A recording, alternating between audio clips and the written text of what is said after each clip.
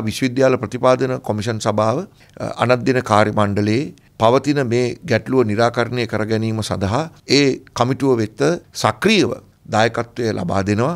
අවශ්‍ය කරන සියලුම තොරතුරු සහ දත්ත අප සතුව තියෙනවා ඒ සියල්ලක්ම ඒ කමිටුව වෙත ලබා දීලා කඩිනමින් නැවතත් එම යෝජනා කැබිනට් මණ්ඩලයට ලබා ගැනීමට අවශ්‍ය සක්‍රීය දායකත්වයේ විශ්වවිද්‍යාල ප්‍රතිපාදන කොමිෂන් සභාව සිදු කරන බවයි මේ සපත කරලා මම කියන්නේ. ඒ තුලින් මම ඉල්ලීමක් කරනවා දයාබර අනධ්‍යන කාර්ය මණ්ඩලයට කරුණා කරලා තමන්ගේ රැකිය ස්ථානවලට වාර්තා කරන්න කියලා දවස් 25කටත් වඩා වැඩි. අපි කටයුතු කරන්නේ රටේ උසස් අධ්‍යාපනය සමග වැඩ වර්ජනයේ යෙදින සිටින අවස්ථාවේදී වැටුප් නොලැබීම සාමාන්‍ය දෙයක්. ඒ අනුව බොහොමයක් විශ්වවිද්‍යාලවල අනධ්‍යන කාර්ය මණ්ඩලය සඳහා අප්‍රේල් මාසයට හිමි වැටුප ලබා දුන්නට පස්සේ මේ දක්වා ඔවුන්ට වැටුප් හෝ අතිකාල දීමනා කිසිවක් ගෙවා නොමැත. මේ වෙලාවේදී අධ්‍යයන කාර්ය මණ්ඩලය වර්ජනයකට සහභාගි වෙන්නේ නැහැ.